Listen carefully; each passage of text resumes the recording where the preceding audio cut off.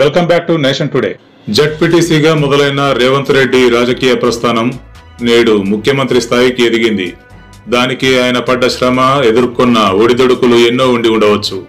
అయితే ఆయన ఎదిరించి పోరాడి గెలిచి నిలిచింది అపర రాజకీయ చాణక్యుణ్ణి అనేది మర్చిపోవద్దు.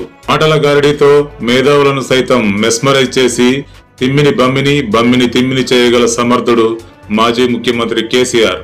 సహజంగా ఒక అధికారంలో ఉన్న పార్టీ ఓడిపోయి ఐదేళ్ళ వరకు అధికారం కళ్ళ చూడమేమో అనే పరిస్థితుల్లో ఉంటే ఆ పార్టీ నుండి అధికారం చేజిక్కించుకున్న పార్టీలోకి వలసలు అధికంగా ఉంటాయి.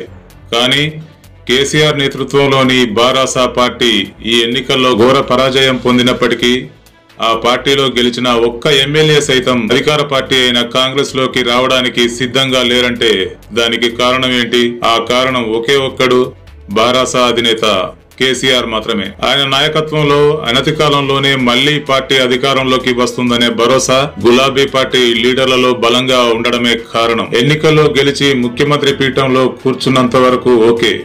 కానీ ఆ పీఠానికి ఎసరు పెట్టగల సమర్థులు ఉన్నారనే సంగతి రేవంత్ మర్చిపోతే తగిన మూల్యం చెల్లించుకోవాల్సి వస్తుందనే వాస్తవాన్ని రేవంత్ గుర్తుంచుకోవాలి. అలాగే ఎక్కడి నుండో వచ్చి పార్టీలో చేరి అనతి కాలంలోనే సీఎం పీఠాన్ని కైవసం చేసుకున్నాడని దశాబ్దాలుగా కాంగ్రెస్ పార్టీని అంటిపెట్టుకుని ఉన్న సీనియర్లు సైతం రేవంత్ పై అక్కసుతో ఉన్నారు.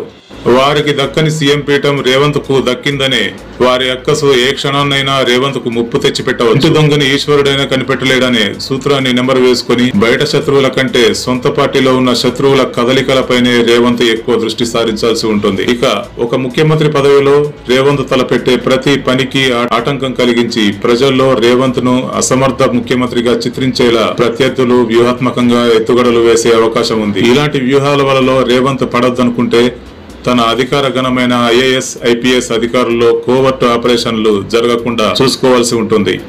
ఇంకా ఎన్నెన్నో కుటిల రాజకీయాలను ఇప్పటి నుండి రేవంత్ చవిచూడాల్సిన పరిస్థితులు ఉంటాయి. వాటిని సమర్థవంతంగా ఎదుర్కోవాల్సిన తరుణం తప్పనిసరిగా మారుతుంది. మరి పదేళ్ళ అధికార ప్రభుత్వంపై ఉన్న వ్యతిరేకతను తనకు అనుకూలంగా మార్చుకొని అధికారంలోకి వచ్చినంత ఈజీగా దక్కిన అధికార పీఠాన్ని రేవంత్ ఎంత మేర కాపాడుకోగలడు? సొంత పార్టీలోని సీనియర్ల వ్యతిరేకత ప్రతిపక్ష పార్టీలోని తలలు పండిన అపర చాణక్యుల వ్యూహాత్మక ఎత్తుగడలు తట్టుకుని రేవంత్ తన ముఖ్యమంత్రి పీఠాన్ని ఎలా కాపాడుకోగలడు ప్రభుత్వాన్ని ఎంత సమర్థవంతంగా నడపగలడు అనేది ప్రస్తుతం మిలియన్ డాలర్ల ప్రశ్న.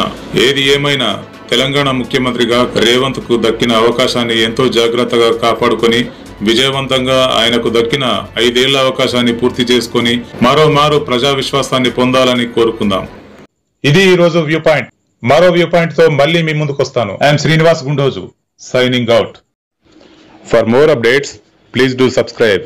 Nation today.